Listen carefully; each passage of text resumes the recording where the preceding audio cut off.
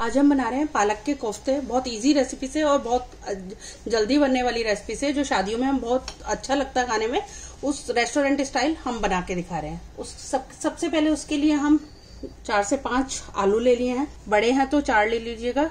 Boil करके और घिया कस कट के डाल लिए हैं। ये करीब 200 ग्राम मैंने पनीर ले लिया है। इसको भी मैंने घिया कस कर लिया है। सबसे पहले स्वाद अनुसार नमक डालेंगे इसके अंदर। मैं एक चम्मच से थोड़ा सा ज़्यादा डाल रही हूँ। जितनी क्वांटिटी आपकी, आप उसके अकॉर्डिंग डाल सकते हैं। धनिया पाउडर, एक tablespoon red red chilli powder half tablespoon pinch of हल्दी जीरा पाउडर हाफ़ टेबल स्पून अमचूर powder half tablespoon garam masala half table spoon से थोड़ा सा कम डालेंगे। Red chilli sorry green chilli बहुत बारीक काट के एक डालिए। आप चाहें तो बच्चों के लिए बना रहे तो स्किप भी कर सकते हैं। थोड़ा सा गार्लिक बहुत बारीक चॉप किया हुआ है। हाफ़ टेबल स्पून जिंजर थोड़ा सा हरा धनिया थोड़ा सा ये पालक है, बहुत बारीक धो के अच्छे से काट लिया है छोटा छोटा इसको भी मैं डाल दूँगी। अब इसका अच्छे से मिक्स करते हुए एक डो तैयार कर लेते हैं। ये मैंने मिक्स कर लिया। अब इसके अंदर बेसन डाल देती हूँ। तीन से चार टी स्पून डाली है मैंने। आप अपनी क्वांटिटी के हिसाब से थोड़ा कम ज़्यादा कर सकते हैं। अगर फिर भी आपको लगे बढ़ाना हो तो थोड़ा बढ़ा लीजिएगा। मैंने तीन से चार चम्मच डाले हैं। इसको भी अच्छे से मिक्स कर लेते हैं। ये देखिए मिक्स कर लिया अब हाथ में ऑयल लगा के हाथ को थोड़ा सा ग्रीस कर लेंगे इस तरीके से करते हुए इसके कोफ्ते बना लेते हैं। जिस भी साइज़ के आपने बनाने हैं, जिस भी शेप के आप बनाना चाहते हैं, मैं राउंड बना रही हूँ आज। इस शेप के मैं गोल बना रही हूँ। आप चाहें तो सिलेंड्रिकल भी बना सकते हैं ओवल शेप भी बना सकते हैं। तरीके से करते हुए मैं सारे रेडी कर लेती हूँ। करीब सोलह बन के मेरे रेडी हुए हैं। सोलह सत्रह ही बनेंगे, थोड़ा बहुत छोटा बड़ा हो सकता है। आप अपने अकॉर्डिंग कर लीजिएगा। और जितनी क्वांटिटी आपको चाहिए आप उतना ही लेके बनाइएगा। अब ऑयल चेक कर लेते हैं। ऑयल भी रेडी हो गया है। सिम टू मीडियम गैस के ऊपर हम इसको तलेंगे।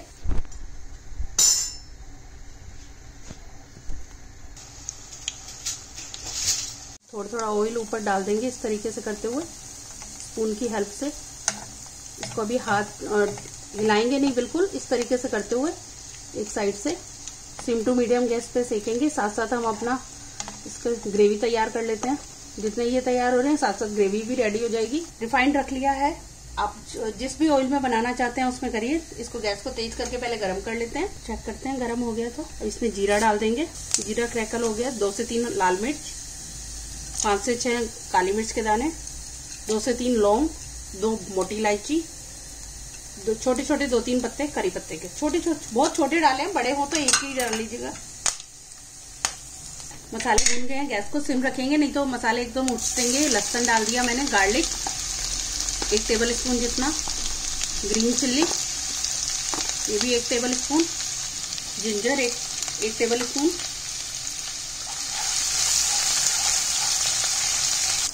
देखिए, एक साइड से हो चुके हैं, इसको धीरे से हिलाते हुए पलट लेंगे इनको।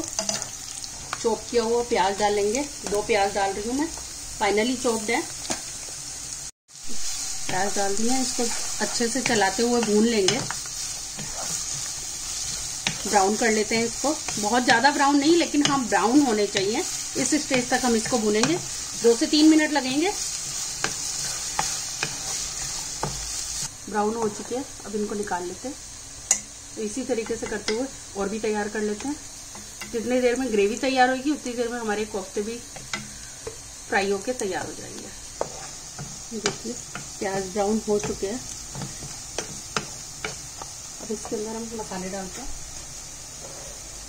सबसे पहले हम इसके अंदर कस्तूरी मेथी डालेंगे, एक चम्मच क्रश करते हुए डालिए। मैं उसके बाद एक टेबल स्पून भर के सूखा धनिया, इसको अच्छे से मिक्स कर लेंगे। पहले एक तीस सेकंड तक करीब इसको चलाते हुए भूनेंगे दोनों मसालों को। ये देखिए, करीब तीस सेकंड चलाते हुए इसको भून लिया है।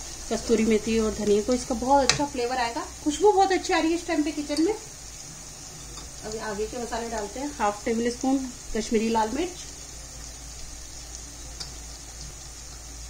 हाफ़ टेबल स्पून जीरा पाउडर पिंच ऑफ़ हल्दी, थोड़ा सा अमचूर पाउडर किचन किंग अगर आप डालना चाहते हैं तो डाल दीजिए। किसी भी कंपनी का किचन किंग पाउडर आप डाल सकते हैं। थोड़ा सा डाल रही हूँ मैं भी। हाफ़ टेबल स्पून जितना। तो तीस सेकंड के लिए मसालों को सबको भून लेंगे हम। अगर आपको लगे मसाले जल रहे हैं तो थोड़ा सा पानी डाल सकते हैं। इस तरह से पानी डाल देंगे तो मसाले अच्छे से भून भी जाएँगे और जलेगा भी नहीं मसाला। अगर आपको लगे तो भी डालना, नहीं तो अगर आपका वैसे ही भून रहे हैं तो फिर ठीक, ऐसे ही चलाते हुए भून लीजिएगा। ये देखिए, मैंने थोड़ा सा पानी डाल दिया एक चम्मच ही डाला है, एक चम्मच पहले डाला है, एक चम्मच और डाल हूँ बस। इसको चलाते हुए एक मिनट भून तीस सेकंड के लिए और भून लेती हूँ।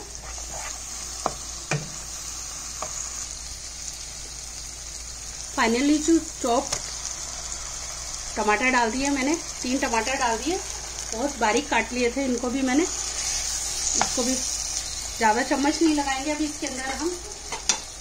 स्वाद अनुसार नमक डालेंगे। मैं एक चम्मच डाल रही हूँ क्योंकि हमने कोफ्तों में भी डाला हुआ है ज़्यादा ना हो जाए इसलिए, और इसको ढक देते हैं करीब एक मिनट के लिए, फिर हम चेक करेंगे। ये हमारे सारे कोफ्ते बन के रेडी हो गए हैं। अब हम टमाटर भी चेक कर लेते हैं। टमाटर भी हो चुके हैं, इस तरीके से करते हुए। थोड़ा सा।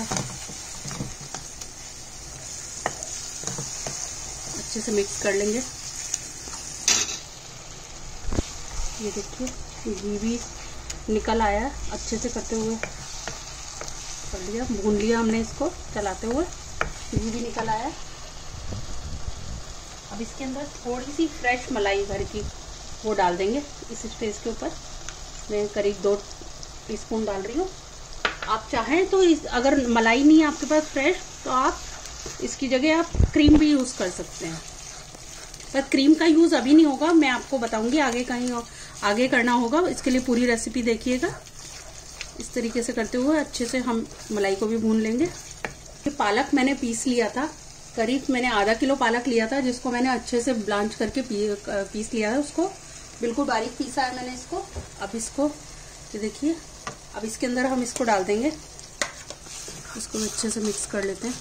अच्छे से मिक्स कर लेंगे और एक बॉयल दिला देते हैं। चलाते हुए अच्छे से कर लेंगे। जो मेरे पास इस जार में भी लगा रह गया था, उसमें थोड़ा सा पानी डाल के वो भी मैं डाल रही हूँ। इसको भी मिक्स कर लेते हैं और गैस को थोड़ा सा मीडियम करके इसको एक बॉयल दिला लेते हैं। मैं ज़्यादा नहीं कर रही। अब इस स्टेज के ऊपर मैं दो चम्मच इसके अंदर मलाई और डाल दूँगी। इस तरीके से चलाते हुए अच्छे से फेंट के अगर नहीं डालना चाहते तो आप क्रीम भी डाल सकते हैं इस जगह पे। मलाई नहीं डालनी, आपने क्रीम डालना है तो वो भी डालना देखिए, इस तरह से चलाते हुए बॉयल दिला लेते हैं एक दो। एक से दो मिनट इसको ढक के अच्छे से ग्रेवी को भुनने देते हैं अच्छे से। एक एक से दो मिनट भुनेंगे सर। दो मिनट हो गए हैं चेक कर लेते हैं।